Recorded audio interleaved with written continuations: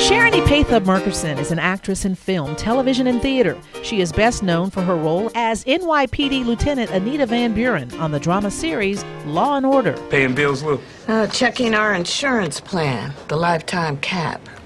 Is it enough? Well, if I'm cured in the next three months is fine. Otherwise, I know where you can get a good deal on a used Toyota. Merkerson's film, The Contradictions of Fairhope, is one of the films screened at Bronze Lens. This social issue film raises interesting questions. Well, I figured they were down there uh, having their barbecue and uh, drinking. When this thing started out, it was a spiritual thing. And now, you name it, they are doing it. The frolic in the woods. There's a heaven side and a hell side.